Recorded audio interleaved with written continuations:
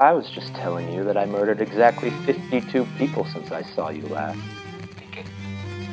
I did it any way I could think of.